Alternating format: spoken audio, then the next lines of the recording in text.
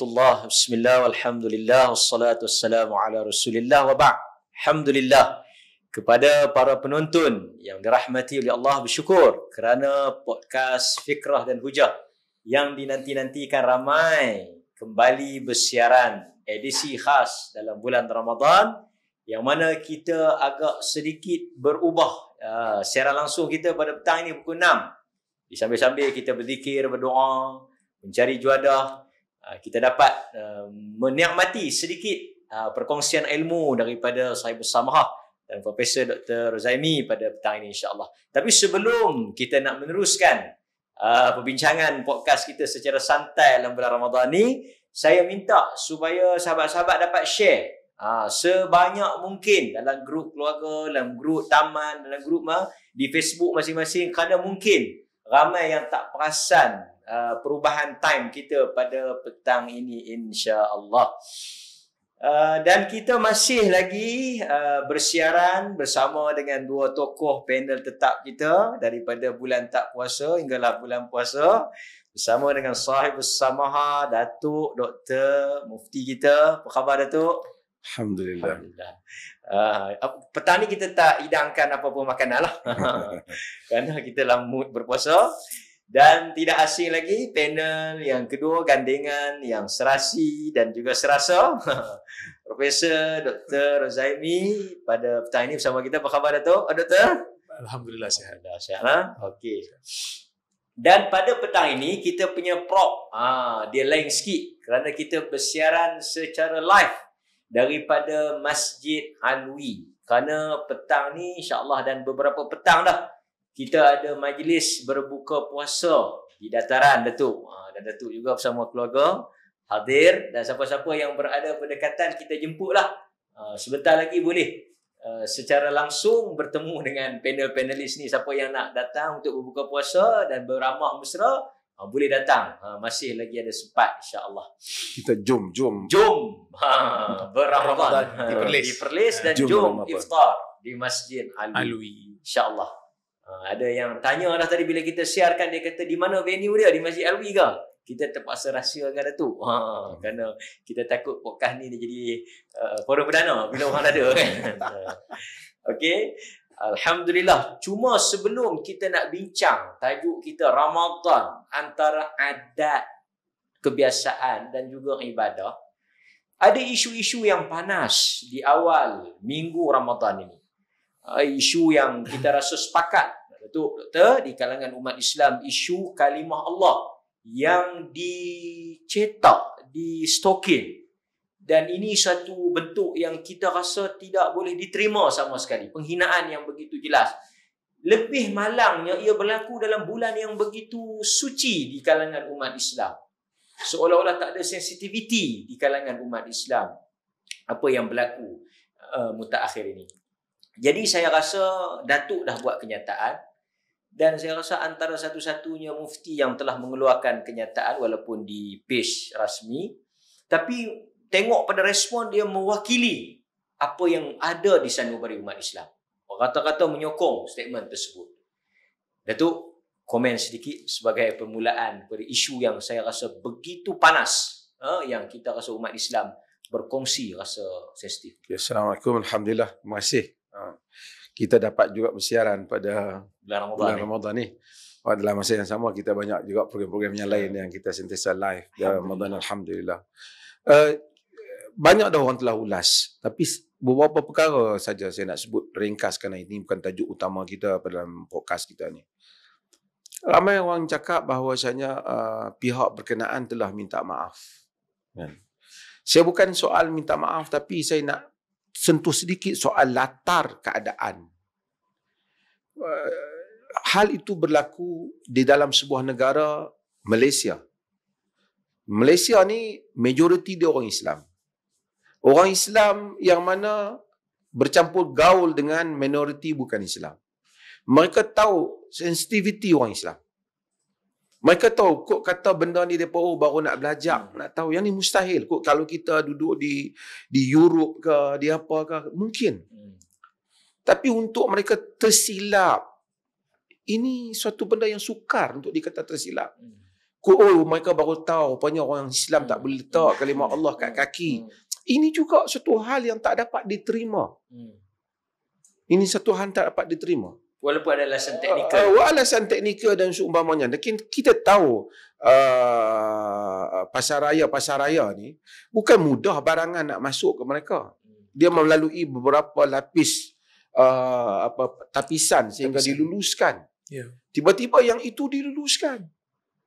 Kan? Uh, itu bukan saya sebut ini soalnya soal kemaafan satu hal kalau tak maaf mungkin hal lain lagi berlaku. Hmm. Tapi hukuman mesti diberikan.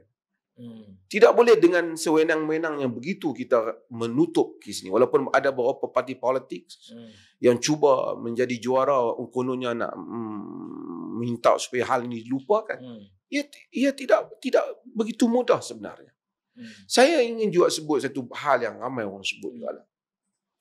Berapa lama daripada kita merdeka sampai sekarang, orang Islam majoriti dalam negara ni, pernah tengok mana-mana produk orang Islam bubuh gambar Tuhan mana-mana agama ke di stokin di tapak kasut Dalam bentuk penghinaan. dalam bentuk tu. penghinaan. Orang Islam memang sensitif dengan benda syirik. Ya, Hmm. tak ada dalam mas- masjid kita, tidak akan ada dalam masjid kita uh, salib dan seumpamanya. Tapi adakah pernah kita mana-mana produk orang Islam cuba keluarkan benda-benda yang seperti ini Hmm. bagi menimbulkan uh, uh, uh, provokasi supaya marahnya agama lain? Benar juga tak ada rekod kita Ada buat. rekod? Kah? Oh, ada rekod tak? Tak ada. Sedangkan kita majoriti. Orang Islam tak buat hal itu. Hmm. Walaupun syirik ini adalah satu topik yang utama dalam akidah Islam. Ya. Tapi orang Islam menjaga diri mereka dari syirik, mereka tak associate diri mereka dengan berhala. Tapi mereka tidak buat benda-benda macam itu untuk menimbulkan provokasi dalam satu masyarakat majmuk. Tapi ini telah dibuat oleh mereka. Hmm. Dan sebab itu orang-orang politik yang bercakap hal ini, lebih baik kamu tutup mulut kamu. Hmm. Kamu nasihatkan mereka pihak berkenaan supaya memohon maaf. Dan biar mereka menerima, bukan hukuman dibakar kedai. Hmm. Orang nak boikot barang, hak orang lah orang tak mau Hmm. beli. Orang Islam tak mau beli. Kena perasaannya terguris. Hmm. Kita terguris dengan kedai yang layan kita tak bagus, kita tak pergi pun. Hmm. Siapa nak question kita? Sekarang kita terguris bukan soal kedai makan tak sedap.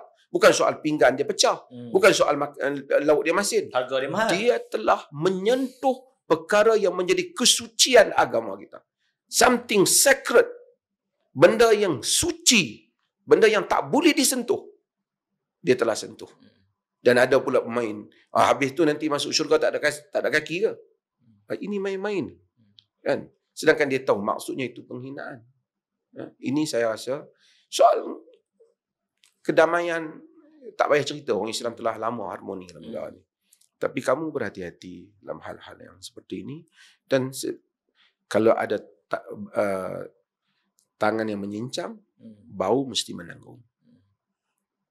Itu saya punya ulasan awal lah. So, Mungkin Prof. Doktor juga nak menambah sedikit tentang isu ni. Um, Assalamualaikum warahmatullahi wabarakatuh. Uh, Alhamdulillah wassalatu wassalamu ala rasulillah wa ba'd. Uh, terima kasih Ustaz Ahmad dan uh, saya bersamaha Datuk Mufti uh, berkenaan dengan isu ni. Pertama kita ucap terima kasih banyak Hmm. kerana Datuk Mufti uh, sebagai otoriti agama yang kalau dalam negeri pegawai agama yang paling tinggi lah Hmm. yang mempunyai otoriti dan kuasa yang diberikan oleh uh, raja pemerintah untuk uh, selayaknya lah untuk bercakap dalam isu ni. Dan kita mengharapkan agar mufti-mufti lain juga Hmm. memberikan pandangan dan memberikan bantahan yang sangat-sangat jelas dalam isu ni kerana isu ni adalah isu yang sangat serius. Tak mungkin benda ni adalah satu kesilapan ataupun terlepas pandang bagi saya lah. Hmm. Kerana uh, tulisan yang ada pada stokin itu merangkumi tulisan Jawi dan tulisan Rumi. Hmm. Kalaulah kata tulisan Jawi saja mungkinlah ada orang tak reti Hmm. baca. Tapi ini sekali dengan tulisan Rumi Hmm. yang dikenali sebagai uh, nama yang paling agung di sisi orang Islam. Yang menyedihkan adalah uh, sebahagian daripada puak-puak yang bukan Islam ni Hmm. cuba untuk mewajarkan dengan letak stokin berbentuk salib lah, stokin Hmm. dengan lambang-lambang tertentu Cuba lah nak membandingkan untuk dengan mewajarkan isu ni untuk uh, kononnya nak meredakan kemarahan orang bukan Islam. satu benda yang besar. Saya nak sebut di sini apa saja yang diterima dalam ajaran kamu tidak bermakna ia diterima dalam ajaran kami. Dalam Quran sebut jelas lakum dinukum waliyadin bagi kamu agama kamu dan bagi kami agama kami. Kamu nak letak uh, lambang agama kamu distokin ke pada seluar dalam ke pada baju luar atau baju dalam itu terpulang tetapi jangan main dengan sensitiviti agama lain Hmm. jangan menganggap apabila kamu boleh letak lambang kamu pada tempat tertentu maka agama lain pun membenarkan untuk kamu letak lambang agama lain sedangkan itu bukan agama kamu Kalau kamu nak letak kat kamu nak Hmm. letak letak pada Hmm. agama kamu kamu nak letak buah palsu pada Hmm. tokong kamu silakan Hmm. kita tak pernah nak Memperlekehkan ataupun nak ma- mengutuk ataupun nak mengejek. Hmm. Ini bukan ajaran agama kami. Tetapi apabila benda ni telah berlaku, kita desak penguat kuasa, otoriti Hmm. untuk siasat dan ambil tindakan kepada mereka yang bersalah. Kerana apa? Minta maaf, minta maaf. Tetapi ia perlu diajar. Kerana ini adalah satu jenayah. Kalau dalam agama Islam, siapa yang melakukan perkara ini ada peruntukan khas. Boleh sampai kepada hukuman bunuh yang mesti dilaksanakan oleh pemerintah. Hmm. Ini saya sebut ni bukan saya nak suruh bunuh pada orang Hmm. tu. Orang awam tak boleh bunuh Mana orang. peruntukan yang ada. Peruntukan dalam undang-undang, pemerintah boleh ambil tindakan sampai ke tahap itu. Hmm. Kerana ini bukan satu isu yang main-main. Hmm. Kerana ia adalah muqaddasat, satu benda yang mulia di sisi orang Islam, uh, orang Islam. Dan ada benda yang menyedihkan saya lagi bukan kata orang bukan Islam aja mewajarkan. Orang Islam pun masuk campur juga. Oh dia kata benda ni sebenarnya lebih pada sabotaj. Engkau polis ke? Hmm. Dia kata oh, aja berapa belas dia daripada beribu Nah, itu antara isu dia. saya belas-belas ni bukan satu nombor yang patutnya kita kena risau ke. Satu pun kita akan marah. Hmm. Belah-belah pun sebenarnya kita akan marah. Ribu pun kita marah. Satu pun kita marah. Dipamerkan dan di, Dipamerkan dan dijual secara terbuka. Siapa pun boleh beli. Hmm. Dan saya nak bagi tahu kalau sabotaj pun biar orang yang bersalah di dihukum. Hmm. Jangan ambil tugas uh, penyiasat. Hmm. Awak bukan penyiasat. Jadi biar siasatan. Kita Kalau desak. nak backup pun boleh pada-pada. Ah backup tu biarlah pada-pada desak supaya siasatan berlaku dan desak supaya yang bersalah diambil tindakan. Itu je yang kita harapkan. Okey Datuk, kita dalam bulan puasa ni memang bulan yang diajar untuk merasai kesengsaraan, kesusahan dan juga musibah. Itu yang kita berpuasa. Antaranya lah kan Datuk. Kita melihat uh, isu Palestin ni walaupun agak sudah tidak mendapat perhatian tapi di Perlis hatta sampai sekarang ni masih kita kunut nazilah alhamdulillah Ya. dan kita tengok kita duka cita secara jelas kita duka cita dengan sikap dan tindakan Mesir negara Mesir yang tidak membuka pintu sempadan Rafah dan menyebabkan terkepung di antara dua kematian kepada orang Palestin. Mungkin Datuk boleh sebut sikit kerana Ramadan memang sinonim dengan perjuangan itu. Yang menduka citakan sekali orang ketika kita berpuasa bahkan kita belum puasa ni kadang-kadang lama puasa tapi Hmm. macam pesta makan kita Hmm. pun dia kita tengok pembelanjaan di bazar-bazar Ramadan katanya sampai berapa bilion Hmm. orang Islam itu negara kita saja. Tapi dalam masa yang sama rakyat Palestin yang keadaannya begitu susah. Dan Mesir yang Hmm. sepatutnya seagama, seakidah Hmm. telah mengenakan sekatan dan pemeriksaan sehingga barang-barang makanan buruk, busuk tak boleh masuk. Kerana takut ada masuk besi ke Hmm. apa. Uh, begitu tapisan yang dia buat sa- hampir samalah kot dengan tapisan yang pihak Hmm. Israel buat. Kan? Jadi di sana Israel yang musuh agama, di sini Mesir yang yang cuba menghalang uh, apa nama bantuan kepada umat Islam. Kita heran bagi sebuah negara yang ada orang agama, ada institusi agama dan tiba-tiba hal-hal yang seperti itu berlaku. Dan kita tengok kadang-kadang umat Islam di Malaysia, uh, di Indonesia lebih sensitif terhadap uh, masa depan orang Palestin. Walaupun kita berbeza bangsa, tapi agama sentiasa menjadi topik penting bagi kehidupan orang Islam. Alhamdulillah mudah-mudahan Allah rahmat orang kita. Tapi kita duka cita dan kita harap janganlah kerana media dah tak berapa angkat isu Hmm. Palestin ni kita pun lama-lama lupa yang mana mana syarikat-syarikat Yahudi pun akhirnya kita pun tam, lepas Hmm. pada ni sambung balik ha, kita yang itulah kita harap jangan berlaku. Dan uh, Datuk mungkin agak sebelum saya nak pergi kepada doktor, doktor secara umum kita sebut ni secara umum duka cita juga bila sebahagian tokoh-tokoh agama yang mungkin agak kurang sensitif apabila terlibat dengan program-program dengan brand-brand tertentu, produk-produk tertentu yang kita rasa sepatutnya dia berlepas diri Kalau dia tak boykot pun dia berlepas dia. Kerana itu seakan-akan macam pandangan Datuk macam mana? Ya. Boykot ni bukan soal brand itu saja tapi soalnya ialah menunjukkan orang Islam sensitif. Hmm. Dan sebab tu kita kadang-kadang memang kadang-kadang oh yang berapa persen je sampai kat Yahudi yang ni berapa persen. Kita jangan kira macam tu. Kita kira bahawasanya kita mau mengekalkan momentum sensitivity kita Hmm. terhadap apa yang dilakukan oleh Yahudi kepada orang Islam. Hmm. Jadi orang agama walaupun kadang-kadang company-company ni rumah saya pun ramai kan macam-macam company kan. Tapi kalau boleh tak banyak mana kot kita dapat pun. Kita Hmm. boleh kita elak lah supaya dia tak menjadi contoh kepada orang Islam yang lain. Hmm. Supaya mereka tak hmm, tengok ustaz-ustaz pun dah okey dah dengan produk yang Hmm. Israel kita pun okey lah. Uh, duka cita sikit lah kalau hal-hal seperti itu. Okey doktor, isu Palestin. Kuib pun ada student Palestin Ya. yang kita tahu gugur syahid baru-baru ni. Mungkin macam mana doktor melihat sepatutnya Ramadan ni lebih marak tentang tajuk Palestin. Um, Kita tengok perlih je sekarang ni negeri-negeri lain macam kan? pertama kita Ya. alhamdulillah kita syukur kerana sehingga ke hari ini kunut nazilah itu masih berjalan kerana kita tahu peperangan di sana masih belum berakhir. Dan uh, kita juga kena beri kredit sikit lah Hmm. kepada Perdana Menteri kita yang Hmm, sangat-sangat ya. berani memberikan pandangan yang lantang dalam membela uh, saudara Ya. kita di Palestin. Mungkin kita ada sedikit perbezaan dalam isu-isu yang lain. Uh, mungkin ada pandangan-pandangan beliau dalam isu politik yang mungkin kita tak setuju. Hmm. Tapi dalam isu ketegasan beliau dalam Palestin, dalam mempertahankan hak orang Palestin, sepatutnya kita berikan kredit lah. Kita berikan sedikit pujian. Dan uh, saya meng, meng- mengajak pada semua lah Hmm. supaya dalam isu Palestin ni kita letak tepi sekejap lambang-lambang perbezaan uh, parti Ya. politik, uh, politik kepatian kita dan kita bersatu atas dasar yang Kita sama. berdiri di belakang kepimpinan Kita dalam berdiri ini. di atas kepimpinan yang membela orang Palestin. Walaupun mungkin di luar mungkin kita rasa macam eh aku tak undi dia macam mana dia boleh naik jadi Perdana Menteri aku.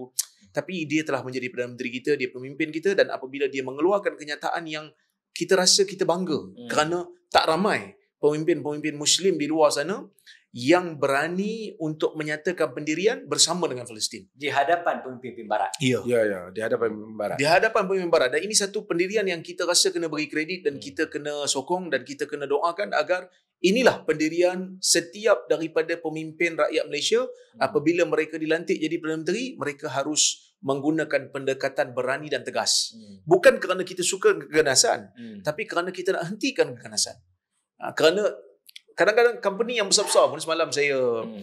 kebetulan ada iftar di jemputan kebetulan semalam saya di Putrajaya Hmm. uh, jalan balik tu nak di, dijemput iftar lah oleh satu orang korporat dan dia bertemu dengan satu company yang yang orang kata apa di selalu dipalitkan Hmm. dengan uh, Israel ni apabila dia cadangkan supaya dia disebutlah dia Hmm. kata kenapa bersama dia kata tak kami tak bersama kami menentang keganasan dia you buatlah satu statement Hmm. kata kita menentang genocide dan Hmm. seba- yang dilakukan oleh Israel Hmm. dia kata yang dilakukan oleh Israel tu dia tak dia tak mau letak. Dia hanya sampai tang keganasan saja. Punya takut. Maksudnya ada company-company Hmm. yang memang sebenarnya sangat takut dengan Israel. uh, Israel. Walaupun Hmm. kalau ikutkan Israel tu population dia pun banyak je kan. Tak sampai pun 10 juta kan. 5 juta kalau tak silap penduduk dia. Sikit je. Tapi mereka ini selamat dan mereka ini selesa sebab apa? Sebab ada Mesir yang secara tidak langsung telah membantu Hmm. supaya mereka ini dapat hidup selesa. Bantuan nak masuk ke Palestin, bantuan kemanusiaan bukannya senjata pun disekat sehingga busuk dan sebagainya. Sedangkan umat Islam itu seperti Bunyan. Nah, satu Yashuddu binaan. ba'duhum ba'dha kan. Seperti bangunan yang menguat sebahagian dan sebagainya Dan yang lain. kita rasa semua agamawan di Mesir itu menghafal hadis-hadis itu dan memahami hadis-hadis itu. Ya. Tapi pada praktikal itu duka cita. Duka cita kita. Kita melihat tak ada peng- pengamalan. Semualah negara Arab yang berada di Ya. sekitar tu bukan kita kata Mesir sajalah. saja, bukan Mesir saja, Termasuk lah. negara lain juga. Arab Saudi kebetulan Jordan, Jordan. Cuma kebetulan Mesir ni pintu masuk. ya, dia direct Ha. Dan pernah dibuka masa Mursi. Mursi. Ha, saja. saya pernah masuk ke ke apa? Ke Gaza masa Mursi. Hmm. Mursi memang tapi duka cita Mursi itu mereka hukum mati Hmm. kan. Nah, Dan telah dihukum. Itu juga ada fatwa agamawan yang ya, yang yang, terlibat. yang terlibat. Cuma tadi kenyataan berhubungan kenyataan maklumat Perdana Menteri, yalah sebahagian orang mereka tak mau lihat ni, ini. Saya tidak ada pun kecenderungan nak memuji mana-mana Perdana Menteri kerana saya tak ada kepentingan dan saya tidak ada ada sebarang kebimbangan untuk mengkritik mana-mana Perdana Menteri. Sebelum ini pun ataupun siapa-siapa saja. Tapi untuk uh, wala tabkhasun nas asya'ahum jangan kita mengurangkan hak-hak orang. Untuk membuat kenyataan seperti yang dibuat oleh Yang Muhammad Perdana Menteri baru ini di hadapan uh, negara barat yang seperti itu in front of negara-negara yang seperti itu bukan bukanlah mudah bukan sembang di kedai boleh sembang di masjid pun boleh tapi orang politik ada environment mereka sendiri ada keperluan politik mereka sendiri ada support politik yang mereka perlu sendiri tetapi kalau dalam konteks yang seperti itu buat kenyataan yang seperti itu bagi saya kita patut membuat satu penghormatan dan pujian. Hmm. Bukan yeah. it's not because of the uh, political background ke apa tetapi isu tu kita kena bersama. Hmm. Uh, kerana itu satu mempertahankan umat. Mempertahankan umat. Yeah. Jadi kita sukar membaca kecenderungan politik panel-panel pada tahun ini. Tapi isu Palestin ini isu umat Islam. Macam isu, isu kalimah Allah pun kita isu politik gaya bebas. Ya. itulah maksudnya kita uh, political uh, kita apa political blind maksudnya yeah. kita tak tengok siapa yang cakap yeah. kita tengok apa, apa yang, yang dicakap kan maksudnya yeah. kalau apa yang dicakap tu baik maka kita sokonglah hmm. tapi kalau apa yang disebut tu tak baik maka kita berilah teguran hmm. taklah bermakna bila kita beri teguran tu kita benci tak hmm. tapi kita rasa kita tak setuju itu saja Hmm. Okey Datuk, balik kepada tajuk perbincangan kita kan. Ramai juga yang komen dia kata Ramadan ni janganlah panas-panas sangat kan. Ha. Tapi kalau tak panas tu dia tak meriah pula nanti kan. Sebab kebenaran ni dia kena sampaikan. Datuk pernah menulis berpuasa tak boleh berpisah daripada dalil kan ada artikel yang Datuk komen kata banyak benda yang kadang-kadang membatalkan puasa tapi tak membatalkan puasa. Dan kadang-kadang ada kecenderungan pula orang ni dia suka puasa orang batal. Daripada puasa orang sah kan. Ha, dan kadang-kadang macam-macam jenis amalan nak masuk bulan puasa pun kena mandi puasa. Katanya dalam puasa tak boleh mandi. Ha. macam mana Datuk melihat sedikit uh, Ramadan ni yang kita baru seminggu lebih ni tu Bismillahirrahmanirrahim. Terima kasih kita kita pro, Ramadan ini adalah hmm. satu program yang Allah buat untuk kita. Cuba kita bayangkan kalau Allah hanya bagi kita semayang ya. Hmm. Tak ada something yang kita ternanti-nanti. Hmm. Tapi Allah ni kasihan kepada kita. Dia bagi kita Ramadan, hmm. dia bagi haji. Kita hmm. sentiasa tu tunggu oh musim haji, hmm. musim Ramadan. Ya, betul. Ada perasaan ada, ada perasaan hmm. tu bila Ramadan nak masuk kita ada kegembiraan Ramadan. Tapi orang yang masuk Ramadan ni macam-macam orang. Dia gembira pasal apa? Hmm. Ada, ada orang macam-macam. Dia gembira, gembira kerana nak, nak raya ada. Hmm. Ada orang gembira kerana dia boleh buat program-program apa-apa yang boleh mendatangkan keuangan. Hmm. So, berbagai-bagai lagi. Tanpa menyebut salah tu betul. Hmm. Tapi dia punya tajuk utama segala program-program ibadah yang Allah buat ni, apa dia apa dia benda yang betul dia nak capai. Hmm. Kalau kita faham yang itu, kita akan mudah bincang yang lain. Hmm. Solat, uh, puasa, hmm. zakat, haji, apa yang Allah nak suruh kita hmm. capai? Hmm. Kalau kita tengok Quran, simple saja. Benda yang Allah nak suruh kita capai ni, benda ustaz pun boleh, ustaz mat pun boleh buat. Hmm. Kalau nak buat, ana pun boleh buat, Dr. Rozami boleh buat, profesor besar di universiti double degree, double. PhD, PhD pun, pun boleh buat. Orang, orang kampung, kampung di jalan pun boleh buat. Semua orang boleh buat. Dan adil dalam nak capai benda ni. Tak ada kok dia ni kaya, uh, peluang dia lebih banyak. Uh, orang miskin. Tak, sama adil. Apa dia? Maghfirah. Keampunan Tuhan. Itu. Man sama Ramadan imanan wa ihtisaban. Hmm. Ghufira lahu ma taqaddama. keampunan. Siapa yang puasa Ramadan dengan iman dan mengharapkan Allah, uh, ganjaran Allah, hmm. ghufira lahu dia punya package dia tawaran yang diberikan keampunan. Keampunan ni kadang-kadang tak jadi besar sebab kita tidak tahu menilai hmm. makna keampunan. Quran kata apa? Saya selalu sebut hal ni. Wasari'u ila maghfiratin min rabbikum wa jannatin arduha as-samawati wal ard uiddat lil muttaqin. Bersegera wasari'u lari kamu usaha kepada keampunan Tuhan kamu dan ada sampingan keampunan tu dapat apa? Syurga yang luasnya bagi langit dan bumi yang disediakan untuk untuk orang yang bertakwa.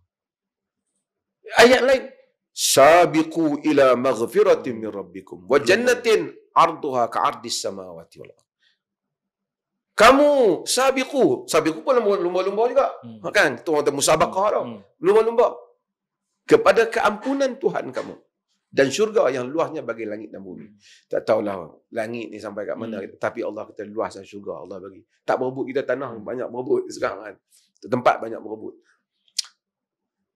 Ini program dia. Program dia kalau kita dapat mencapai keampunan, kita berjaya dalam program ni.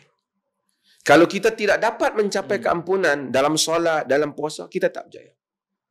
Kalau kita clear yang ini, kita akan dapat bezakan antara ibadah dengan adat.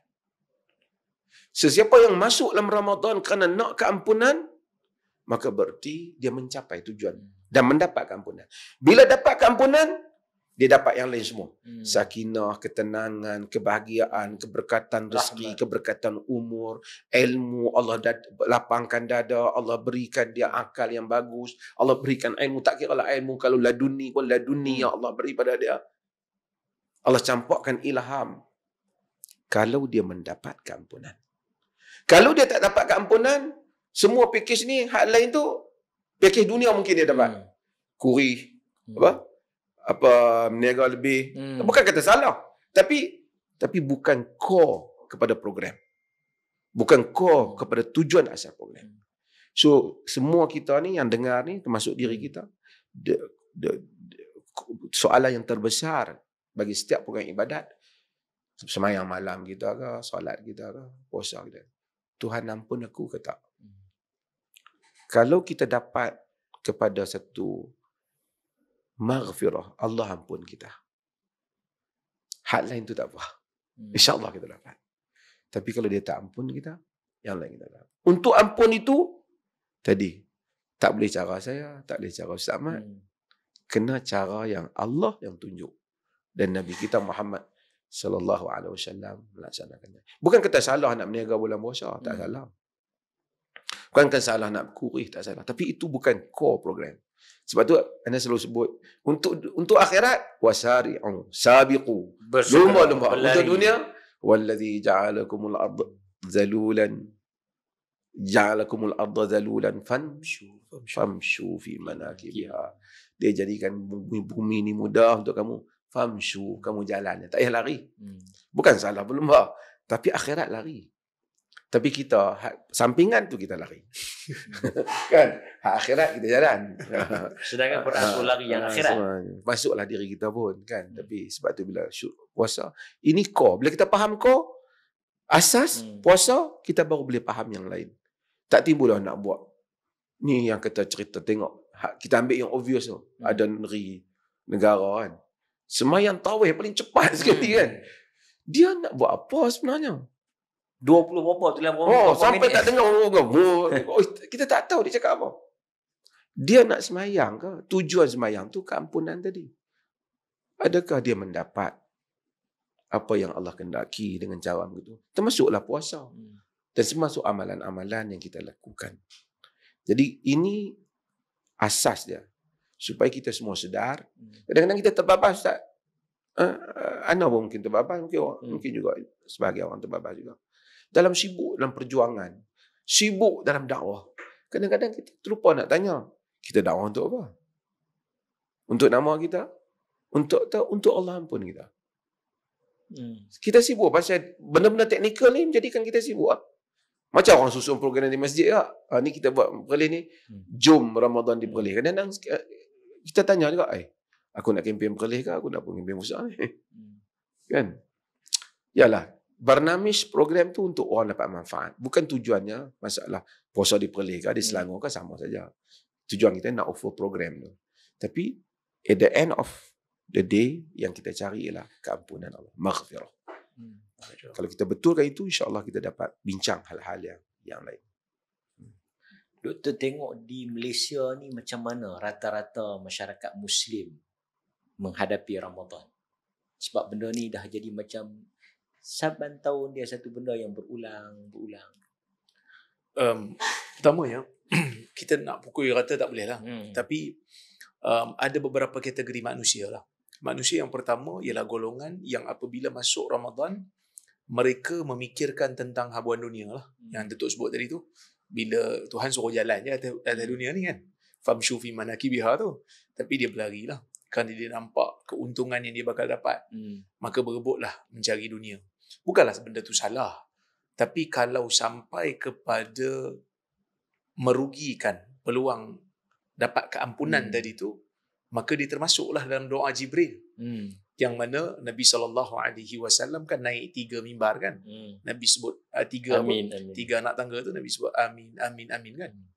Lalu bila sahabat tanya Nabi kata tadi Jibril datang kepada aku dan berdoa raghima anfu abdin adraka walidayhi aw ahadahuma uh, lam yudkhilhul jannah faqultu amin.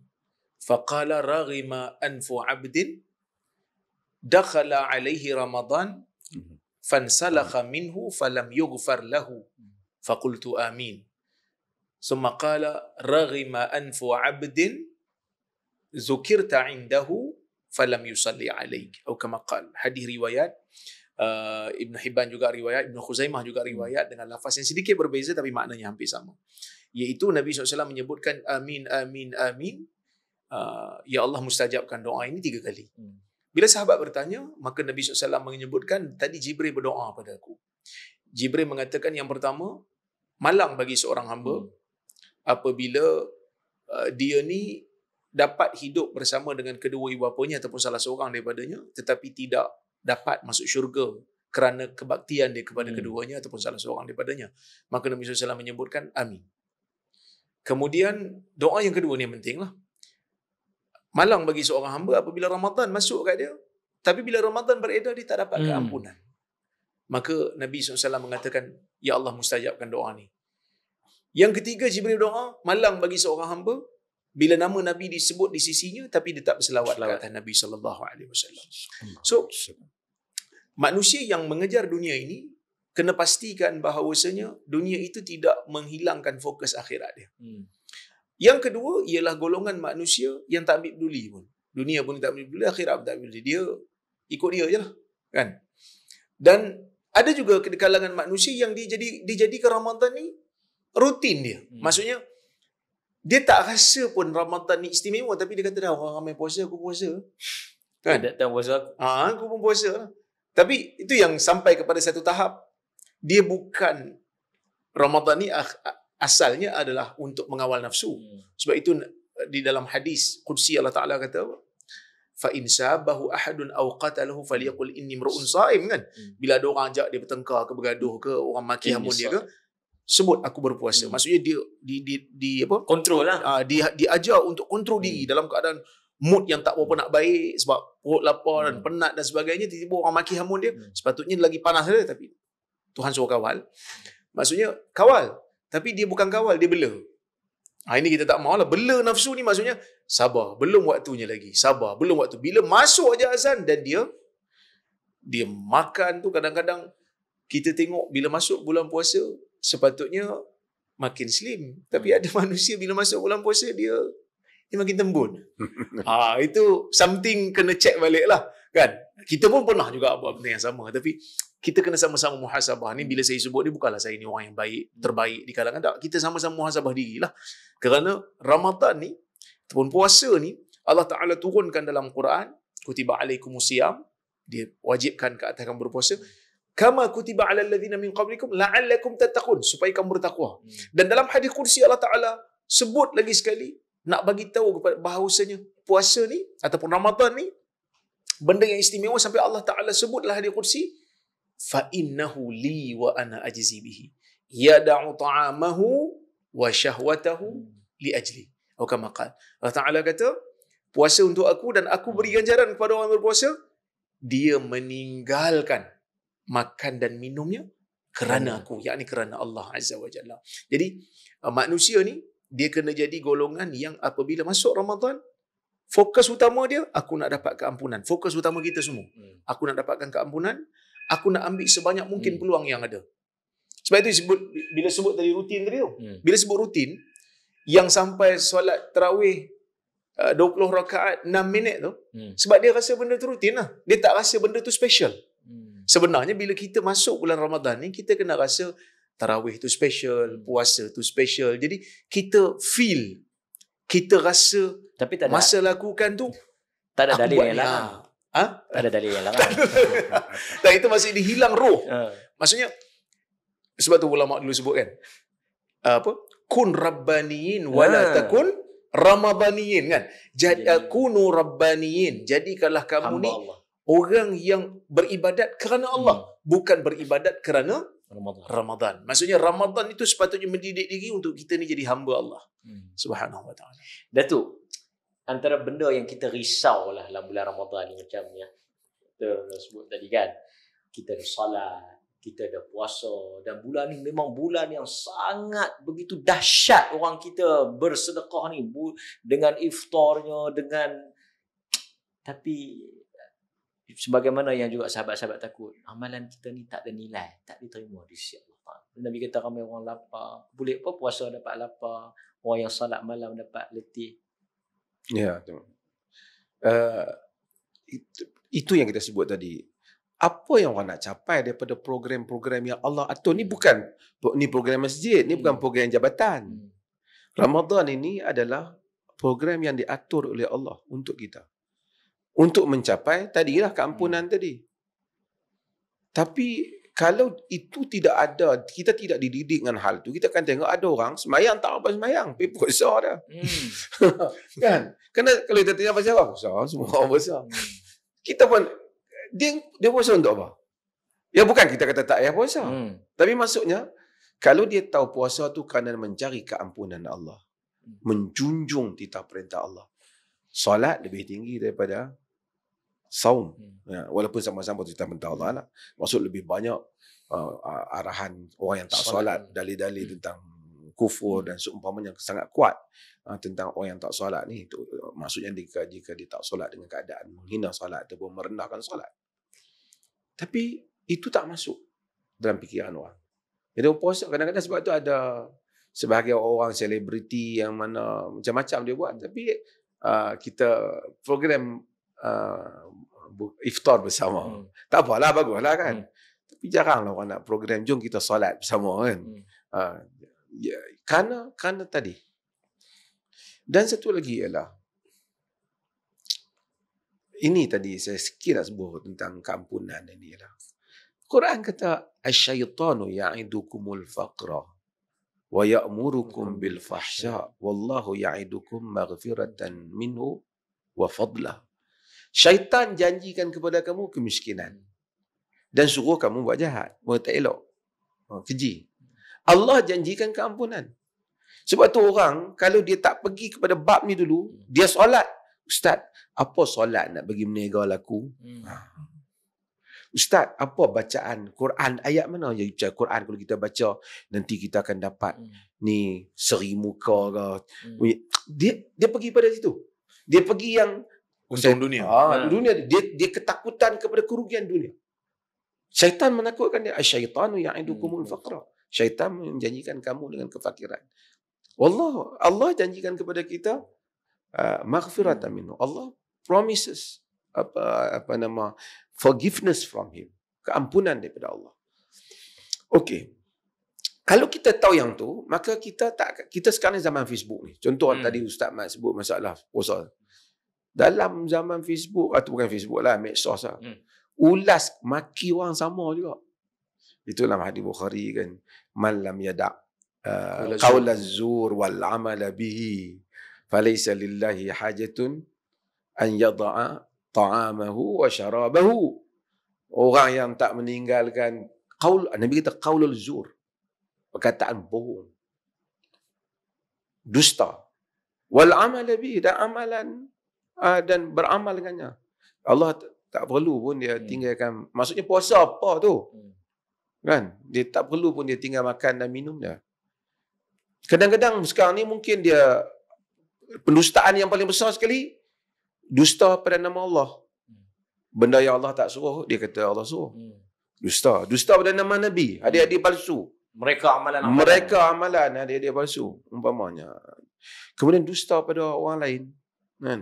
Kadang-kadang bulan puasa ni kita tak sama juga orang kan. Kadang-kadang hatta orang kadang-kadang nampak beragama tapi juga kita pun jauh dari hal-hal seperti itu. Oh dia kata depa ni uh, pok-pok ni duk kata imam-imam mazhab Buddha. Tengok contohnya.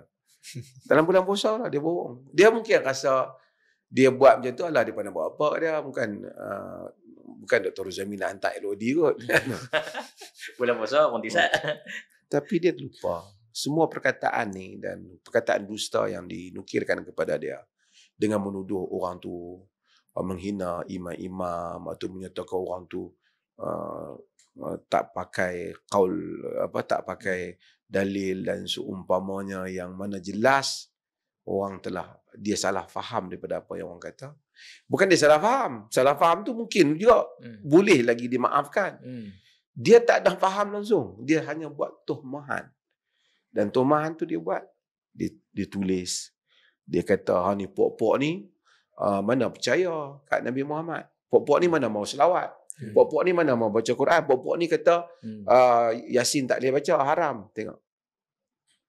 Perkataan-perkataan tu depa yahsabunahu layina wa huwa Quran kata tahsabunahu layina Quran tak wa huwa indallahi alazim tahsabunahu kamu sangka dia ringan Mungkin dia kata, sebenarnya dia kata pun orang kita macam ni juga hidup kita Alhamdulillah.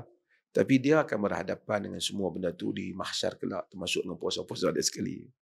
Bukanlah saya nak sebut. Termasuklah kita juga kalau kita buat benda yang sama. Hal-hal yang seperti ini dalam dalam kehidupan beragama. Dusta, cakap. Kadang orang bulan puasa, maki dia boleh tahan tak? Kan? Maki. Dan sama juga artis-artis yang mungkin kita boleh sebut juga kan. Kalau boleh berilah sedikit penghormatan pada bulan Ramadan. Tak payahlah program-program yang obvious. That is not the spirit of Ramadan. Kadang-kadang di, di, di, disemarakkan oleh unsur-unsur agama pula. Kan? Seolah-olah Ramadan tu yang tu tujuan dia. Hmm. Bersukaria, buat apa dan seumpama. Bukan kita kata Islam melarang senyuman dan tawa. Tapi itu bukan tujuan Ramadan. Kita keluar daripada universiti ataupun madrasah Ramadan ni dengan mengharapkan keampunan. Hmm. Saya nak nasihatkan diri saya lah, sahabat-sahabat juga. Dan banyak program-program TV dan seumpamanya ni. Kadang-kadang bila dijemput tu, okey. Ramai juga kita dapat jemputan. Tapi kita kena nilai juga. Hmm ia menjadikan orang lebih dekat dengan Allah, lebih menjadikan orang semayang malam, solat malam, baca Al-Quran, orang bersedekah atau sebagai program bernama agama tapi hiburan dalam Ramadan. Lebih hiburan kepada satu gelak tawa yang satu benda yang bukan benda yang bukan itu tujuan Ramadan. Cerita-cerita yang tak manfaat. Ramadan datang dengan package ya, package doa, package baca Quran, syahr Ramadan allazi unzila fihi al-Quran. Fakisha Allah wa idza sa'alaka ibadi anni fa inni qarib. Kan? Hmm. kan? Tapi kita tengok tu kadang-kadang bila pi tempat-tempat hotel-hotel buka puasa. Elok-elok azan maghrib dengan makan sekarang dengan kugiran apa semua tu macam mana? Dia, dia kata sebab depan buka puasa tak apa kot. Yalah kalau kita kita semua lah saya rasa semua kita rasa macam tu macam kalau kita terlepas bangun malam pada bulan Ramadan macam perasaan kita. Pada bulan lain kalau kita terlepas satu malam tak bangun Ramadan kita akan rasa macam mana? Bersalahnya kita pada diri kita. Macam mana bulan Ramadan kita terlepas duk duk bersembang pukul dua pagi, duk hmm. bernyanyi, duk pi merempit tiba bangkit tidur subuh tak bangkit subuh dengan sahur-sahur pun tak baik basuh pergi kerja macam-macam manusia bukanlah wajib qiyamul lail tu tapi maksudnya kalau itu manusia akan rasa beban. Apatah lagi? Tidurlah. Sekurang-kurangnya semayanglah. Lima waktu. Pergilah masjid bulan-bulan Ramadan ni. Uh, apa nama subuh sekurang-kurangnya tak pergi bangun pergi masjid. Kemudian bersedekahlah. Kontrollah mulut kita sama. Dan ini semua ini program Ramadan. Tapi kita dah tersasar ni bila memang package Ramadan. Macam-macam kan? Kita dah jadi begitu. Dan ini tak sebahagian pasar raya kita pergi dah dah raya, raya, raya dah uh, jadi ini kita tersasar daripada Apa sebenarnya yang kita cari dalam Ramadan ini? Betul. Tak ada lagi lah dosa yang Tuhan kata sedara kepada syaitan ni melainkan membazir. Minum arak, berzina, berjudi pun tak jadi sedara syaitan. Tapi membazir ni sedara syaitan. Dan kita tahu bulan ni syaitan diikat. Tapi banyak juga sedara-sedara dia tu yang yang ada kan. Membazir dahsyat tu. Berbilion-bilion tengok dalam komen sikit kan. Adakah saudara meninggalkan saudara?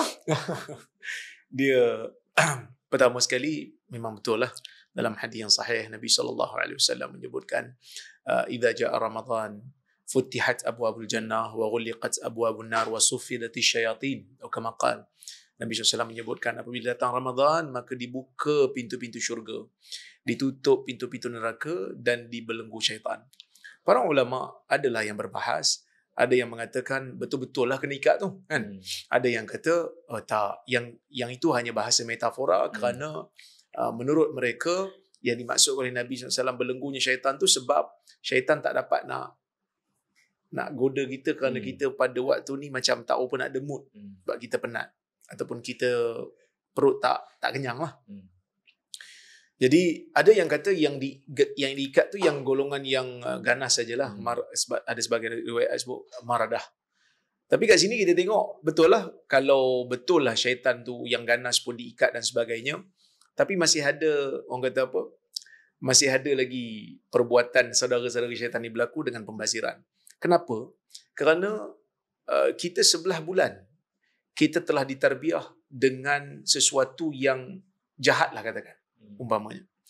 Jadi benda tu dah jadi satu macam dalam bahasa sains kita panggil apa? Kinestesis. Dia dia macam saya pernah satu, satu ketika bawa kereta.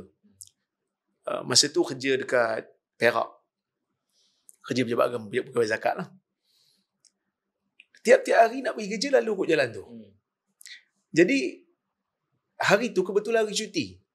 Kan? Kita sebenarnya nak ikut jalan lain. Nak pergi hmm. bazar Ramadan. Hari cuti. Hari cuti. Hmm. Tapi oleh kerana dah lalu kot jalan tu setiap masa, setiap hari duk lalu kot jalan tu. Sampai hari cuti nak pergi bazar Ramadan ikut jalan lain, lalu kot jalan tu juga. Sampai dekat-dekat nak masuk simpang nak pergi ke Seri Iskandar tu pun fikir. Eh, aku bukan nak pergi sini. Ha. Maksudnya apa? Maksudnya manusia ni dia ditarbiah biasanya kalau dia biasa ditarbiah dengan sesuatu dia akan biasa pula lalu jalan tu ni orang Arab panggil apa sulukul jadah melalui jalan yang biasa jadi apabila kita dah biasa dengan sesuatu yang dinamakan sebagai pembaziran ataupun kita selalu duduk dengar bisikan-bisikan syaitan jadi bila bulan Ramadan ni bisikan syaitan tu mungkin tak ada ataupun berkurangan tapi oleh kerana dah terbiasa jadi tabiat maka dia telah menjadi tabiat jadi sebab itu Nabi SAW sediakan package-package yang banyak ni. Supaya package-package ibadah yang banyak ni. Hmm. Siang kita berpuasa, malam kita salat. Hmm. Kalau ikut logik akal, siang dah puasa, malam tu penat. Kan kita bila lepas berbuka ni, katalah kita buka, lepas tu kita baring kejap, mesti lena kan? Hmm. Sebab kita dah hilang tenaga. Tapi kenapa dia, malam tu disuruh kita hidupkan? Supaya kita sedar yang kita ni tak nak bagi ruang pada syaitan untuk membisikkan sesuatu kerana kita sibuk dengan ibadat-ibadat. Jadi patutnya bulan ini menjadi satu bulan yang uh, benchmarking kita. Hmm. Satu bulan yang menjadi benchmark. Kalau kita tak dapat seluruhnya beribadat seperti mana bulan puasa, at least kita dapat separuh. Untuk kita buat di luar pun, bulan luar pun, okey dah. Maksudnya paling tidak solat malam tu ada, paling tidak puasa sunat tu pun kita buat supaya kita rasa sentiasa diri kita tu dikawal. Dan sebenarnya bila Allah Taala suruh kita berlapar ni, antara hikmahnya supaya kita rasa penderitaan orang miskin. Jadi bila antaranya. kita antaranya. Jadi kita bila kita membazir, kan. Bila kita beli banyak sangat. Masa apa beza kita dengan orang miskin? Kita disuruh puasa ni supaya kita share the same feeling that orang miskin rasa. Hmm. Tapi orang miskin tak beli benda yang banyak-banyak membazir ni kan. Ha, jadi sebab itu kita tu jari betul. Oh. ada satu kisah sampai dia beli dia beli kuih kan. Dekat ujung meja tu ada bata merah. Ha. Bata yang bata merah. Ha. Itu pun dia nak beli juga. Dia tak nampak itu bata. Sampai tu jual ini bata je tak jual. Punya dahsyat tu. Kemudian masa buka usaha kan habis. Dia tak habis. Uh, kalau dia beli nak bagi kat orang lain sama okey lah kan. Ya. Uh, beli banyak tapi kalau masalah beli mata kita tu bila tengok, wih ni semua sedap, semua sedap. Bukan kita larang orang pergi bazar Ramadan. Yalah, tapi kalau mengurangkan pergi bazar Ramadan pun bagus juga rasanya kan. Kan? Sebenarnya ini pun satu yalah kita ni pasal bulan ni lah semua fikir. Hmm. Bulan ni lah fikir nak makan yang tu lah, fikir makan makan banyak bulan yang lain. Macam kita orang kita pergi Mekah lah, kan. Pergi Mekah sampai-sampai pagi esok lah fikir lah makan si lemak lah roti canai. Yang kau duduk bertahun-tahun kat Malaysia ni makan lah. Eh, Masa kau pergi tu lah kau fikir nak makan benda-benda yang Ada macam yang bawa dari Malaysia. Ha, ada yang bawa tu macam lah kau tak mungkin fikir dia tak balik lah kau. Itu betul. Sebab tu tak bagus orang kita ada anak-anak kita dia dia pergi dia pergi negeri tu satu je orang yang layan kita. Hmm. Ni orang yang dengar kita okey agak kan. Ya. Kita pergi satu negeri. Hmm. Saya sampai-sampai oh kami dah sambut datuk ni kami bagi makan nasi. Kita pergi Qatar ke, kita pergi Bahrain ke, kita pergi negeri Arab ke, negeri UK ke. Kami nak jamu datuk makan nasi lemak. apa aku mau aku mau main dari Malaysia. Dia yang teringin. Dia yang teringin. Sebab dia dulu lama. Ah, dia ajak kita kasi lemak apa. Kita main nak makan yang lain Ah, lah. Kita nak makan lah makan tempat tu kan. Ah, makan Turki ke. makan Si lemak baru semalam tu kan. Eh tadi saya nak jumpa Datuk. Makan saya nak makan. Tak, bukanlah terima kasih lah jamu tu tapi maksudnya menu salah. Kadang tu orang main rumah kita orang besar kan. Kita pergi cari makanan mahal-mahal dia makan. Buat apa? Dia sebenarnya dah jemur Dia dah. mana? Bagi kita makan lah. Orang kampung bagi orang kampung makan lah. Bagi dia. Kita salah pilih menu. Bulan puasa tu. Macam-macam. Okey, Alhamdulillah Datuk kita sedar tak sedar dah sejam kita bersiaran. Alhamdulillah uh, tuntunan kita pun tengok live ramai Alhamdulillah walaupun dalam saat ni Datuk sedang berjuang ni di Pasar Ramadan ni. Ha. Tapi nak pilih makanan dia pun duduk dengar kita Alhamdulillah. Dan sebelum kita nak mengakhiri podcast siri yang ke-15 Ramadan edisi yang pertama ni uh, pihak kami Fikrah dan Hujah ingin memberikan sekalung penghargaan kepada MKM Travel and Tours yang telah menaja uh, siri-siri podcast kita dengan tajaan yang alhamdulillah agak lumayan. Terima kasih MKM Travel dan MKM Travel ni kita bukanlah nak kempen ke nak promosi apa tapi memang terkenal travel yang uh, dipercayai dan mengamalkan manasik Datuk berdasarkan uh, manasik umrah dan haji Rasulullah. Dan baru ni ada viral satu travel yang menipu jemaah ni bulan puasa ni. Ya. Dia kata ada berbuka, ada sahur sampai sana, tak ada berbuka, tak ada sahur. Kan dia ingat sampai Palestin tengok sampai di Mekah. kan? Uh, jadi terima kasih MKM Travel di atas tajaan dan kita mengalu-alukan mana-mana pihak untuk menaja kita ni insya-Allah. Uh, mudah-mudahan dakwah ini dapat disebarkan. Insya-Allah kita bertemu lagi pada minggu hadapan dalam bulan Ramadan dengan tajuk-tajuk yang lebih santai dan lebih ilmiah sesuai dengan semangat Ramadan. Selamat berbuka. InsyaAllah Allah Ta'ala terima amalan kita. Terima kasih Datuk, Doktor. Sama. Dengan serik untuk terus bersama dengan Fikrah dan Hujah. Assalamualaikum warahmatullahi Selamat dan bertemu lagi insyaAllah. Waalaikumsalam warahmatullahi wabarakatuh.